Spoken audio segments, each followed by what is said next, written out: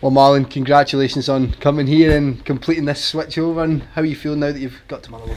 Well, it was a bit of a shock to say least. All happened pretty quick, but uh, delighted to be here and uh, to link up with Robbo again is uh, well looking forward to it. And as I say, delighted to be here. You touched on linking up with Robbo yeah. again. That's is that played a big part in your move here? Big part, yeah. yeah I've known Robbo a long time now. I played with him at Luton, and then it was Stephen really that took me over to uh, Northern Ireland to work with the 21s, 19s, 17s over there, and uh, so I've worked uh, him from that situation and again just uh, jumped at the chance uh, to be here. And can you give the Motherwell fans watching on a bit of a background as to your career so far, Marlon?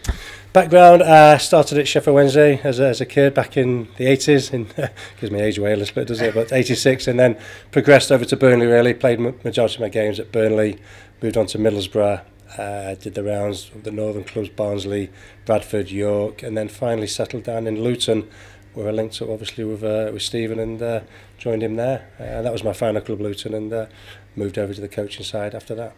And just you've had a day of training so far, and how has it been settling in and with the other coaching staff, Stephen Craigan as well, of course, and Dietrich Fad Well, that helps, doesn't it? Yeah, and not only do I know Rob, I know Stephen as well, know him off on the Northern Ireland setup. So it's been really easy. It's, everyone's been friendly, been welcoming, and training went well. So it's uh, moved in and settled in pretty quickly. And on the coaching side of things, Marlon, what's it like coming into a club at this sort of stage of the season as opposed to coming in in between campaigns? If you like? Uh, probably a little bit easier this time of year. Things starting to settle down. You know, we're coming towards the back end of the season, and training, I suppose, isn't it's always intense, but it's uh, it's not as heavy as would be the pre-season. So a little bit easier. Uh, lads, goalkeepers are goalkeepers. You know, the union's always the the same look forward to working with them. So it's been relatively uh, straightforward so far.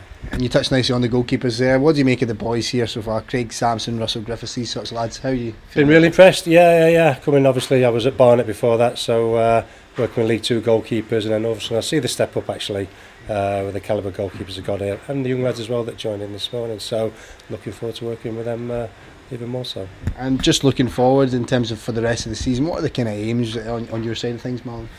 for aims from my point of view is to get clean sheets as simple as that you know as a goalkeeper that's the first and foremost what you what you look for to work close with the goalkeepers to get them clean sheets and ultimately if you do that'll help the team progress up the league yeah, well congratulations Marlon and welcome to Mono thank you cheers